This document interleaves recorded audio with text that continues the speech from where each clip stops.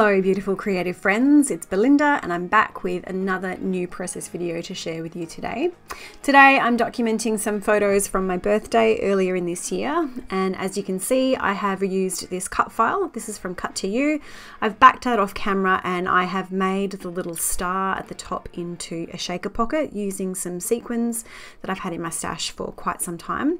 The collection that I'm using today is from Uniquely Creative, they are an Australian company if you're not familiar with them and this is their summer holidays collection I believe it's called it is travel themed and holiday themed but I am using it to document a birthday story I wanted to go for a pastel color scheme here and so I've selected products from the collection that meet that design aesthetic and what I'm really aiming for is texture, texture, texture.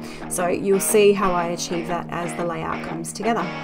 I've got three photos. This is sitting at the table with my family and the birthday cake that my kitties made for me with some help from my mum. And I've backed each one of those onto some white cardstock to add a small border. And then I've created a strip by adhering those down onto some vellum. And the vellum's just going to add a little bit of softness behind those photos.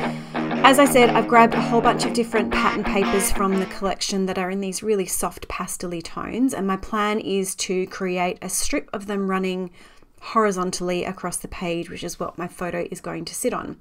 So I've used my notebook border punch to punch one of the pieces that's going on the right hand side. I do have a little piece of vellum there, which is from the, uh, it's a vellum page insert um, set that came in the collection. And the piece that I've turned into a tag over on the far left there, I'm pretty sure that came from a journaling card, which was also available in the collection. So the height of these is about a half an inch taller than my photo strip and I just trimmed, roughly trimmed them down first, and then I've laid them across the page in the order that I think I'd like them to go. Used my pencil to mark where each of them is overlapping, and then I've trimmed the excess off. And the reason that I've done that is because I wanted to add some stitching to each individual piece, and I just knew it would be way too annoying and tricky to try and do it once they were all adhered down on the page. So just showing you now, I've added some row of stitching around each one of those pieces and then I'm going to well, no, I'm not going to adhere them down yet because I wanted to add a little bit of texture to the background.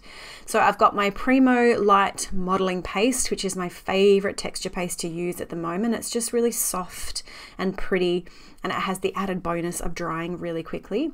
And this stencil, it's like a confetti design and this is just from like a cheap discount store. Um, I'm pretty sure I got this from Red Dot here in Australia, and I've added it in a couple of different places. So I've added it under where I'm gonna where I'm planning on building some or two my, my two main embellishment clusters. So that that's now, the photos are now adhered down to that strip. And as you can see, I've just added a piece of chipboard. This is just something that came with some packaging because I want to give this photo strip a little bit of lift off the background, but I'm really trying not to add too much bulk to my layouts these days. I'm sure like many of you, storage at home is at a premium and the 12 by 12 albums, they do take up quite a bit of space. So I really want to make sure that I am getting as many layouts as possible into those. And the way that I'm doing that is by making sure that my layouts aren't too bulky. So I've used some wet adhesive, which as you can see was really hard to get out of the bottle to adhere that down. And then the title is going down with some foam. Now this is from, this is foam that I get from Bunnings in a very large roll here in Australia. It is acid free, so I don't have to worry about it causing any problems long term on my layouts. The downside to this is that it's really hard to get the backing off. So I did only add it to the foam to the the actual letter pieces because I have made that star into a shaker so that's already got some dimension to it and I'm using my T-square ruler just to make sure that everything's lined up nice and straight and that it's centered on the page. I've got this little um, scalloped border piece which I'm pretty sure came from one of the cut aparts, and I want to tuck it in underneath the photo layer but I want it to stand out a little bit so I'm going to grab these really cheap foam squares, which um, look, they are fantastic. They're, they're tiny, so they're a good size.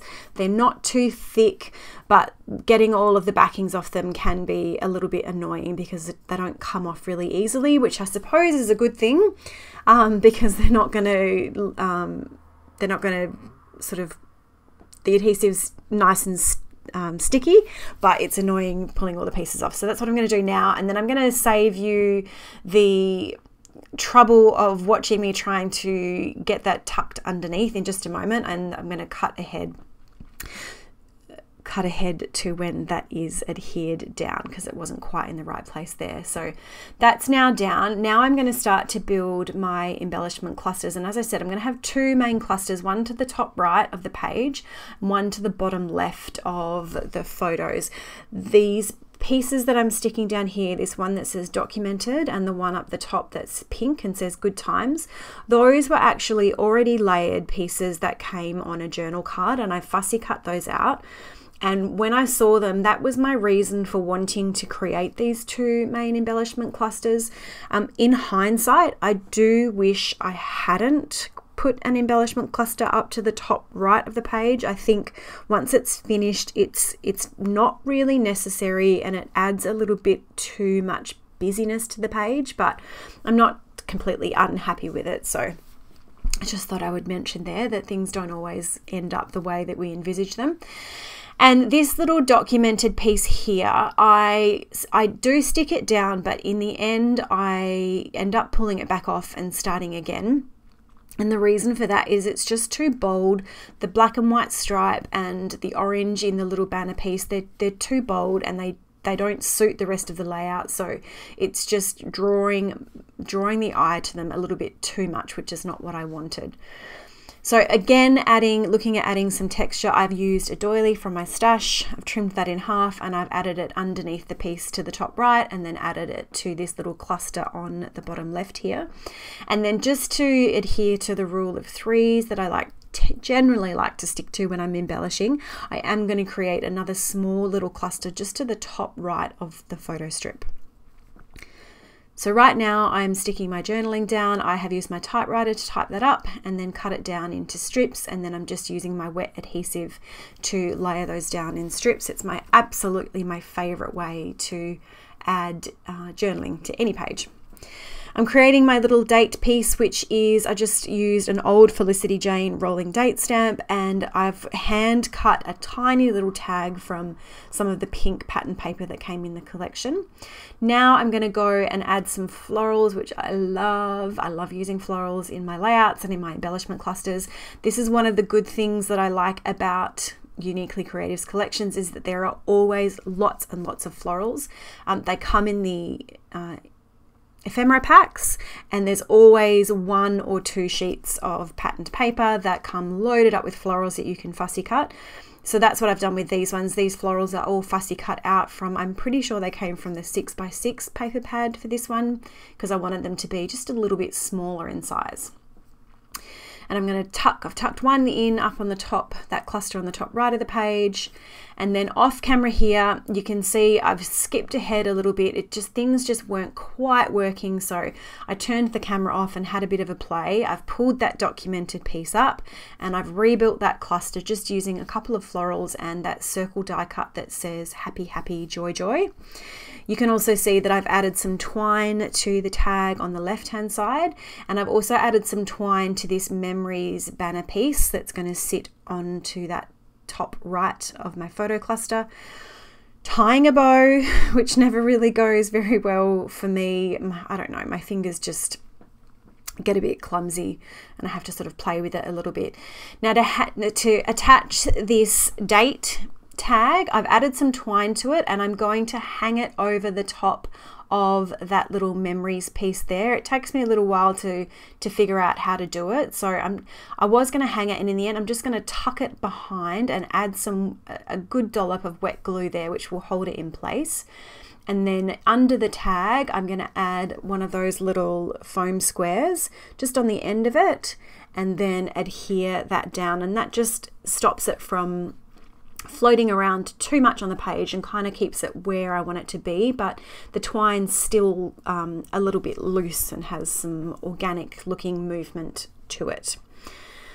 So we are just about done. The only thing that's left for me to do is add some little sprinkly bits. So the first sprinkles that I'm adding are these tiny little florals which were in that 6x6 cut apart, cut apart pattern paper, but I saved myself the trouble of painstakingly um, uh, hand cutting those out and I've used the We Are Memory Keepers punch tool that has a little floral shape and I've just punched them out with those.